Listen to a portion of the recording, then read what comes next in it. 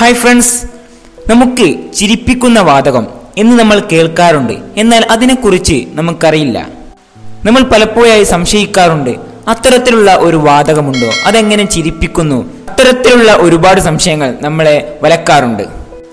എന്നാൽ ഇന്നത്തെ വീഡിയോയിലൂടെ നമ്മൾ നോക്കാൻ പോകുന്നത് ചിരിക്കുന്ന വാതകത്തെക്കുറിച്ചാണ്. Welcome back to talks let's video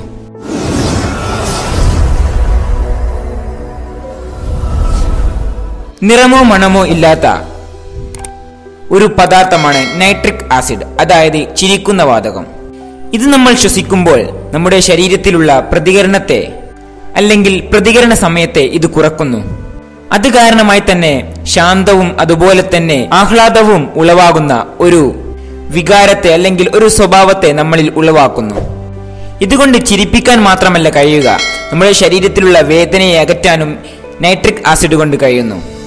sorry nitric acid അല്ല നൈട്രിക് ഓക്സൈഡ് കൊണ്ട് കഴിയുന്നു എന്നാണ് പറയപ്പെടുന്നത്.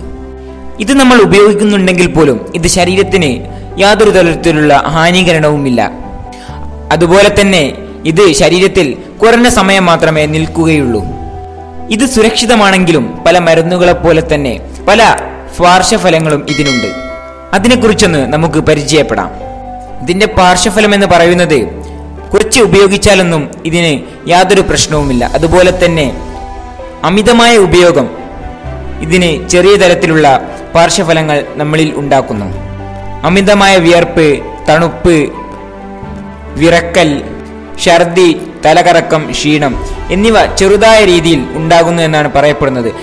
അതും കൂടുതലായി അമിതമായി കഴിച്ചാൽ മാത്രമേ ഉണ്ടാവുകയുള്ളൂ.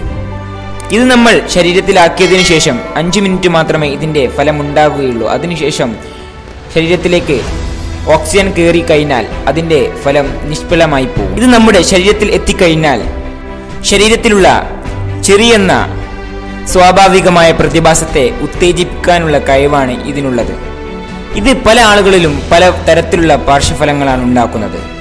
ഇത് നമുക്ക് ലഭിക്കുന്നത് വാതക രൂപത്തിലാണ്. ചില ആളുകൾക്കുള്ള സംശയമാണ് ഇത് ഇത് ഉപയോഗിച്ചാൽ എന്താണ് പ്രശ്നം എന്നുള്ളത്. അല്ലെങ്കിൽ ഇത് ഉപയോഗിച്ചാൽ എങ്ങനെയാണ് ഒരു മനുഷ്യൻ ചിരിക്കുക എന്നത്. അതിനുള്ള സംശയം ഇവിടെ പൂർത്തിയായെന്ന് വിശ്വസിക്കുന്നു.